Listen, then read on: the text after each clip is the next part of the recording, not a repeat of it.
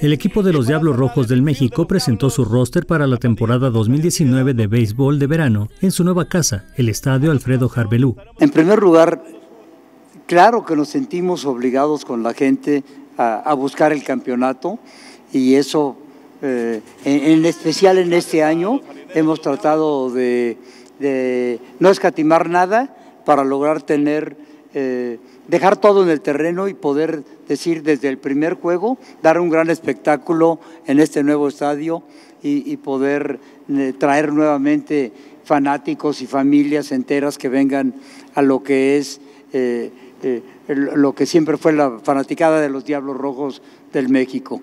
Encabezados por el propietario del club, Alfredo Harp, y Otón Díaz Valenzuela, presidente adjunto, anunciaron a los jugadores que afrontarán la nueva temporada. Este miércoles comenzará la venta de los abonos donde la primera serie será ante Tigres de Quintana Roo, por lo que esperan un lleno total ante el acérrimo rival felino.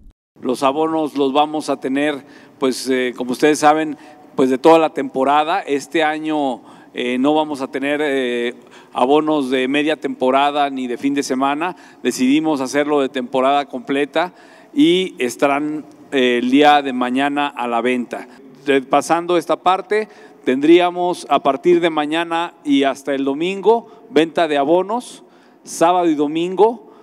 Se venden tanto abonos como la posibilidad de tener la preventa de los abonados para la serie de Tigres.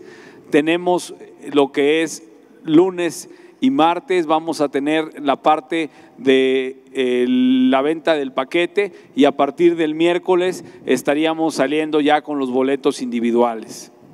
El manager del club, Víctor Bojorques, indicó que aún no tiene una rotación abridora ni el roster completo de jugadores, ya que todavía faltan varios juegos de preparación, donde el objetivo es pelear por el campeonato. Como todos vieron, el roster que está compuesto eh, por muchas estrellas eh, el béisbol y, aún no tenemos realmente definido un roster, nos quedan algunos juegos por, por jugar de pretemporada, estamos tratando de acomodar todavía al picheo abridor y, relevo intermedio, relevo eh, largo y los cerradores, aún no tenemos definido ni un line-up eh, para el día inaugural ni tampoco una rotación abridora. Con información de Oscar Pérez e imágenes de Raúl Monroy, Notimex.